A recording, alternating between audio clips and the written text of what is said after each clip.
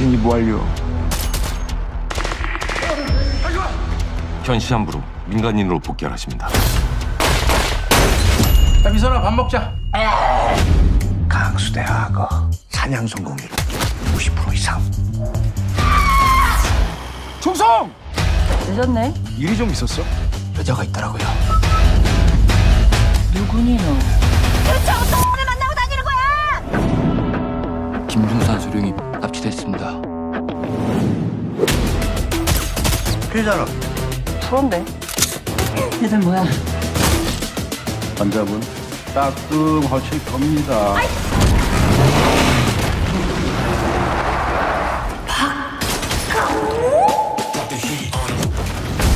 네가 누군지 말해.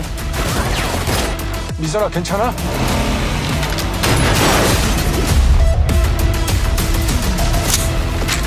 이제부터 너 혼자선 안 돼.